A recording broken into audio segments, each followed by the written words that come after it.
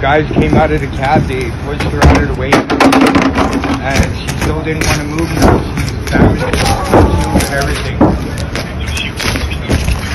No, she was pushed out of the way. ਸੋ ਇਹ video Winnipeg ਤੋਂ ਨਿਕਲ ਕੇ ਸਾਹਮਣੇ ਰਹੀ ਜੋ ਕਿ ਕੈਨੇਡਾ ਦੇ ਵਿੱਚ ਇੱਕ ਪੰਜਾਬੀ ਕੁੜੀ ਦੀ ਬੜੀ ਹੀ ਸ਼ਰਮਨਾਕ ਹਰਕਤ ਕੈਮਰੇ ਦੇ ਵਿੱਚ ਕੈਦ ਹੋਈ ਜਿੱਥੇ ਕਿ ਇੱਕ ਕੁੜੀ ਬਹੁਤ ਹੀ ਨਸ਼ੇ ਦੇ ਵਿੱਚ ਧੁੱਤ ਹੁੰਦੀ ਹੈ ਤੇ ਉਸ ਨੂੰ ਇਹ ਨਹੀਂ ਪਤਾ ਲੱਗਦਾ ਕਿ ਉਹ ਸਹੀ ਕਰ ਰਹੀ ਹੈ ਕਿ ਗਲਤ ਉੱਥੇ ਹੀ ਉਸ ਤੋਂ ਬਾਅਦ ਉਸ ਦੇ ਨਾਲ ਸਾਰੀ ਹੀ ਪੰਜਾਬੀ ਕਮਿਊਨਿਟੀ ਜੋ ਕਿ ਬਦਨਾਮ ਹੋ ਜਾਂਦੀ ਤੁਹਾਨੂੰ ਵੀ ਲੈ ਚੱਲਦੇ ਇਸ ਪੂਰੀ ਵੀਡੀਓ ਦੇ ਵੱਲ।